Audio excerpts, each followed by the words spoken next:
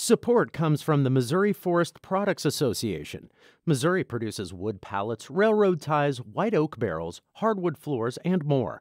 Details on the variety of products made in the state are at choosewood.com. Welcome to St. Louis on the Air. I'm Sarah Fenske. December 15th is the deadline to enroll in health insurance if you're using the marketplace as established by the Affordable Care Act. Now, you might know that act better as Obamacare.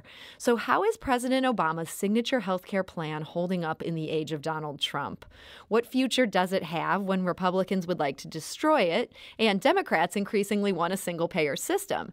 And how does Medicaid expansion in Missouri fit into all of this? Well, joining me in studio to talk about this issue is Timothy McBride. Tim is a professor at the Brown School at Washington University in St. Louis. He's also co director of the Center for Health Economics and Policy Institute for Public Health. Tim, welcome to the program. Uh, thank you. Glad to be here. Now, for those of you listening, uh, we're wondering do you support Medicaid expansion in Missouri? You can give us a call at 314 382 8255. That's 382 Talk. Or you can send us a tweet at STL on air or email us at talk at stlpublicradio.org. So, Tim, what's the status of the Affordable Care Act marketplace? Are plans more or less affordable this year than in the past? It's interesting. The news is actually relatively good this year in the affordable care marketplaces. Um, the premiums are down slightly, about 3% um, uh, in, in Missouri, and nationwide it's about the same. That might surprise people a little bit. The last there's actually some good news. Yeah, there's actually some good news. Um, and it's complicated, um, as it always is with in health insurance. And so everybody needs to go up to healthcare.gov and put in their individual information to find out what the situation is for themselves because um, what they can actually get for themselves can vary a lot based on their age and their health household situation and stuff. Are so, there a number of different plans that are yeah, options this year? And that's also good news too. Uh, across Missouri, there's actually a few new insurers that are offering plans. So there's more choices, and the premiums are down a little bit, um, which hasn't been the case in the past. As you mentioned, it's been kind of somewhat bad news in the past uh, two or three years ago. The news was uh, a little bit of a struggle. So, what do you think is driving this good news in Missouri? Well, um, you know, I think people were kind of looking at the Affordable Care Act and the marketplaces, which is actually a small piece of the overall insurance markets. And insurers, which these are all private plans, they were a little bit unsure about whether this was going to last. There were so many court hearings yeah, trying to stop it. There's been, you know, 50 or 60 times the Congress has tried to kill it and was unable to do it. There were several um, lawsuits against it, and all that has failed. And so now I think insurers are a little bit uh, more willing to take a risk. Mm-hmm. And in the the enrollment has been pretty stable, about eight million in the marketplaces nationwide. And so I think insurers, one of them, the biggest one is in St. Louis, actually. Centene hmm. um, has the biggest marketplace plan in the whole country.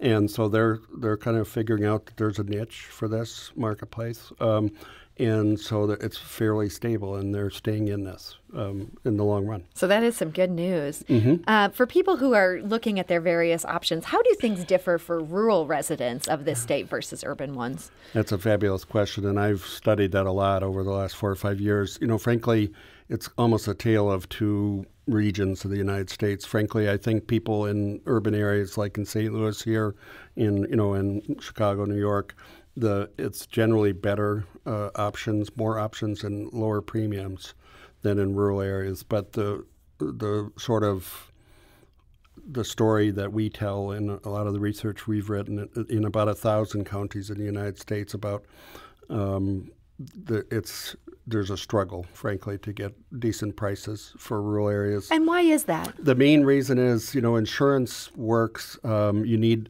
people, basically. You know, it's a risk pooling issue. Um, the more people you have, the more you can spread the risk, you can spread the costs. Um, and insurers are reluctant to go where there are few people. And, you know, it's hard to go sell insurance in the middle of Nebraska where there are, frankly, f- fewer people than cows. So if and there's one person there who's sick, that could really impact their bottom line. That's basically the math. Okay. And so if you got one person with cancer out in the middle of uh, Nebraska, insurers are going to go, oh, we got to raise the premium. So the premiums are pretty high if you look in northeast Missouri, and they're a lot higher than they are in St. Louis. Well, that's unfortunate. It is really unfortunate. Overall, in terms of the number of people using these marketplaces, um, is that something that is higher in years past, or No, it's pretty well. It's actually a little lower in Missouri. We're now at about 220,000. We don't know what the numbers are going to be for 20, uh, 20 yet because for this current deadline? Yeah, um, but in the last few years, it's down a little bit. Um, and you know, the- we peaked about three years ago. And what would you attribute that to? The fact that it's down is that just we've got a good economy? We think that uh, that's one factor probably because you know they were at historically low unemployment rates, so more people are getting employer insurance. Um, we also think you know the premiums are relatively high in the marketplaces, and uh, two or three years ago they went up. Um, also, the Trump administration, when they came in, they cut back on what are called the navigators. Um, so they basically disappeared. The people that can help you sign up. oh, okay. Somebody to be a liaison yeah, to help you explain know, this Health insurance is difficult to navigate. So uh, they created these people that would help you figure out how to do this. So they're basically gone now, and you have to basically navigate this for yourself. And they're so um, if you're continuing in the program, you're fine. But you know, a new person, they're not out there. They might be a little timid. Yeah, and there's no marketing for this really anymore. So in the in the timeline, you know, the open enrollment period's a lot shorter than it used to be. So, as an expert in these sort of things, um, I know it's hard to reduce it just to a, a short answer, but what would people need to know in order to enroll in one of these? What's some advice you would give to somebody thinking about whether or not to, to take the plunge? I would say don't be discouraged, especially if your um, income is uh, somewhat low. By that I mean two or three times the poverty line, say thirty or forty thousand dollars. Um, and if your if your income is, if your age is say 30 or 40 years old, um, you know, you can actually qualify for some really significant subsidies. These plans are actually quite low. You might even be qualified for a plan that's almost zero or 20 or 30 dollars per month. Really? Um, yeah, because there's still very significant uh, subsidies, um, but also be a very smart consumer because in the early years people went and bought plans that had very high deductibles, so they were really kind of drawn by the light of having a really low premium, but they didn't realize that it had like an eight thousand dollar uh, deductible. That's a huge And then they, you know they break their leg and they go, oh my god, I got this big bill. So look very carefully at the the plan details. Um, unfortunately, if your income's a little higher, if you're you know, say sixty, seventy thousand dollars. If you're a consultant or something and you don't have insurance, your premium might be pretty high. Um, so again, be a careful consumer. What about for people who are searching for plans outside those government marketplaces? Any advice for them? Sometimes know- people are just in a, a weird situation right there. I mean, uh, frankly, I, our advice is to look in the marketplace because you qualify for the subsidies. Um, You might qualify and not realize it. yeah, and you know, I think I we've been perplexed why people don't look in the marketplaces and they still go outside the marketplaces. I think, you know, it's a, it's a struggle for figuring that out. I think it's because they don't like Obamacare. They don't. They have a relationship with an, a, a broker or something. But I would look at the marketplace first and see because you may be throwing away two or three hundred dollars a month in subsidies. Wow. That's a lot So- of money. Mm-hmm. Yep. So, we're talking to Tim McBride of Washington University about the various um, points of the healthcare marketplace here in Missouri as well as in Illinois. And another part of this, under Obamacare, states have the option to expand Medicaid to people earning up to 138% of the federal poverty level. There's a group now trying to get this issue onto state ballots. They're aiming for the November 2020 election, which would be obviously the presidential election. A lot of voters turning out for that. Last week, Governor Mike Parson said he would go along with expansion if that's what the public wants. So, Tim McBride, if this goes through, what would it mean for Missouri? Well, it's a, it would be a really big deal, and you know the there. Uh, just to be clear, we're not part of this effort, and I'm not part of this effort. This is an advocacy effort that's going forward. Um, but I think the thought that's uh, uh, going on here is there are about 37 states that have expanded Medicaid. It became optional because of the Supreme Court decision, and Missouri's been very reluctant to do it. The legislature has absolutely refused to do it. Conservatives really Yes. don't like this yeah, option. And, and, you know they have valid reasons in their own minds for not doing that. So, but advocates looked recently at some three or four states that went a different route, and they went the petition route, the referendum route, and putting it on the ballot. And so advocates in this state went and looked, and they said they noticed something interesting about Missouri is that we pass fairly progressive referendums, like on marijuana and um, minimum wage and and clean Missouri, but yet we still put in conservatives into all of the state positions. So they said maybe Missouri would go for this, especially in a presidential year when there's more progressives turning out. So they're going to take a shot at this, and you know they've already gotten two, you know about as I understand, about thirty percent of the vote um, signatures. They're making some headway. Yeah, they're making, and so, um, and what the governor said is he wouldn't block it, which was interesting, because in some of the states that have actually gotten this pushed through, the governor and the legislature have tried to knock it down. Try to override the will of the voters. So you know, I thought that was an interesting signal from Governor Parson because he he is sort of suggesting that he's going to be a little bit more moderate on this position. I wonder if Um, he's seen some polling and this is yeah, something you people know, want. I, uh, from what I've heard about him, I think he's a reasonable person, and he's a very sort of he's been in the legislature for a long time, and he's probably hearing from a lot of different voices, including the hospital association, the healthcare industry, that know that this is they would really like this. yeah, they like this as you know bringing about 1.5 to 2 billion dollars into the state, um, and you know they've been wanting this for a while. Uh, the insurance industry would like it, um, and you know his conservative side is probably telling him not to do it. So he's being pulled in different directions. So if he gets a vote of the people, that could give him the political cover to, Ex- to acquiesce exactly. to that. So- Now he has also said that Missouri needs to slow the growth of current Medicaid costs before discussing discussing expansion. What would it take to do that? Well, you know, there's he, there's a report that's on the website. I used to be the chair of the Medicaid Oversight Committee until last summer, and there's a report on the website that um, uh, documents this. You know, the growth of Medicaid. They worry about this quite a bit because it's taking up a large share of the state's budget. Um, but uh, you know, frankly, the growth of Medicaid is no faster than the growth of any other share of um, uh, health spending. In fact, It's in just the- up, up, up everywhere. yeah, health spending grows in everywhere Medicare, Medicaid, private insurance. Um, and in fact, the reason the Medicaid share is growing is part of the spending is because the, our taxes are not growing. So, um, so it is an issue, but, um, and, you know, the, the report that the administration sought is actually a thoughtful report. It's called the Medicaid Transformation Report. There's a lot of really good things in it.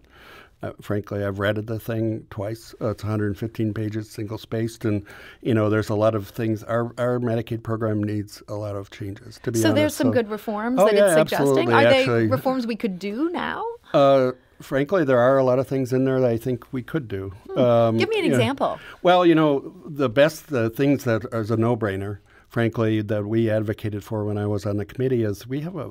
This will surprise people when they hear it. We have a 40-year-old computer system that runs our Medicaid uh, program. I bet that's just super efficient. Oh my God, it's unbelievable.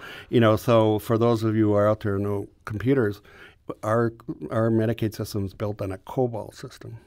Still be people who go, "What's COBOL?" So, and it is like putting together with band-aids right now, um, Okay. and it's so inefficient and so terrible that we advocated for a long time to put money in to fix the computer system. is so bad right now that you cannot fix and put in some efficiencies to save money and to put in like payment reforms. And we advocated for that while I was on the committee, and we actually got the conservatives and the libertarians to say, oh, yes, we agree that $100 million needs to be put in additional money to fix this computer So system. we may need a really big upfront expense, Yes. but this could save money over oh, time. Oh, absolutely, because it would allow us to put in some efficiencies and incentives. And, and actually, the legislature's already put a down payment on that. Okay, so we're So- actually seeing some movement yeah, on I this. think, and I, you know, so that's something that's bipartisan, left to right, um, that I think could be done, and there's a whole chapter on that. Tim, this is the rare hopeful conversation on This is- healthcare I've ever had. You have several points here where I'm like, this is actually good news. Well, you know, there's more I could tell you about that too. Well, so there, there's yeah. contentious stuff too. I'm just Well, and uh, okay, so you led right into this. Speaking of contentious stuff, you have been outspoken about your concerns that Missouri had wrongly kicked a bunch of families Oh, off yeah. Medicaid rolls. Um, the number of children being covered saw a 15% drop. Um, and after you raised concerns about this, you were actually removed from the oversight committee. They said your term was just up, but it was very interesting timing. Um, tell us, what were the concerns you had about this drop in the rolls? Well, you know, a, a hundred thousand children were dropped from the Medicaid rolls uh, over a period of about a year and a half. Um, and it's now stopped. So, um, and when you say it stopped, what do you mean? They we're not so seeing the ongoing We're not decline? seeing a drop anymore in the Medicaid um, rolls. I'm still following it, even though I'm not on the committee. Um, and you know, that's it's the biggest drop in Medicaid children enrollment in the country by far. So this was And- a huge thing. Yeah, but now it's- it's stopped. Do you think it's just because people were speaking out? They realized they couldn't just kick people um, off? You know, they told us early on when I was in the committee that they were doing what they were, you know, it was called recertification. They were going into the rolls and they were looking, you know, again, I told you the computer system was very old. Mm-hmm. And so I think what literally happened was, you know, the Medicaid costs are pretty high, and they said, you know, what can we do? Well, let's look to see whether people belong on the program or not, and let's look and just sort of send a look at everybody on the rolls. There's 600,000 kids, and you know, 900,000 overall, and uh, we'll send a letter to people and say, "Are you still qualified for the program?" That's where everything kind of went haywire, because a lot of people they had the wrong address, so they never got the letter. Some people And even people who get letters, I'm sure they, they, didn't respond to it. Some yeah. people actually thought it was letters saying you're still in the program. They threw it away. Mm-hmm. Uh, some people didn't have uh, English was not their first language, and so they admitted to us early on that this was going haywire. Um, and then when I started complaining about it, other people started complaining about it. They were like saying, "Oh no, it's the economy, it's other things," um, and then you know I wouldn't give up. Um, and you know, and uh, you know, so I think they they think that a lot of this is appropriate drops in the enrollment. I disagree. You Um, continue to disagree. yeah, I still continue to disagree, and you know, I think it's an open question. Um, I think obviously the answer is probably somewhere in between. Probably some of these um, people needed to be dropped. I would assume maybe the parents, but the kids, I have a hard time understanding. Kids are eligible up to 300% of the poverty line, so I have a hard time understanding how the economy is that good that they're That there'd be all of such sudden, a steep decline. Yeah, and um, people around the country don't believe it either. So. So, what would you like to see happen now? I realize you're not in control of this issue, Yeah. but you had called for some action. They didn't do some of the things you wanted. Is there still something that should be done here? Um, I think you know the the legislature called for an investigation of this and to look into. I mean, one, I couldn't do it, but the the Medicaid agency could actually look at these cases. They have the ability to actually look at the individuals and see what happened to them. And like, is that investigation going to happen? Not at this point. no, I um, the minority asked for that investigation, and the and the majority party said no, we don't. We buy their explanation that this was all appropriate. Okay. So, the Democrats tried, but Yeah. at this point, no investigation. Nope. So, if people are hearing this and they would like to to raise hell, any suggestions of what they could do? Uh, talk to your legislature. Okay. So, um, uh, and you know, I think the other thing we're doing, and we we are doing it as well, is trying to track whether this is mattering. You know, I think w one proof of this will be, you know, if we if this is true that you know these women and kids that were dropped, it's mostly women and kids, 127,000, um, and they left the state or they were phantoms or um, then it's not going to matter. They're not going to show up at BJC. They're not going to show up at um, Children's Hospital. But if they uh, were dropped and now they're uninsured, they're going to show up as uninsured patients. So, if we start getting an influx of people who thought they were covered Exactly. and realize they're not, that Yeah. will prove that you were onto something. that would, that would prove they were onto something. Or if the state is right and they all of a sudden be, switch from Medicaid to employer insurance, they will show up that way. So the proof will be in that, in the so, numbers. so the and- time could, in time, we may yeah, know we'll this and we're starting to look at these numbers actually. Okay. So um, I, you know, so, so stay tuned. I'll be able to tell you that um, later. Well, Tim McBride of the Brown School at Washington University in St. Louis, thank you for joining us today. Okay, great. This is St. Louis on the Air on St. Louis Public Radio. That's 90.7 KWMU.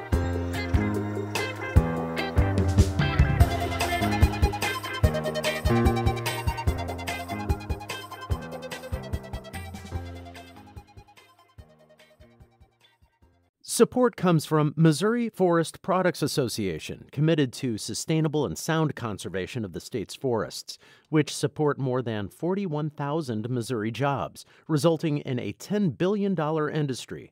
ChooseWood.com.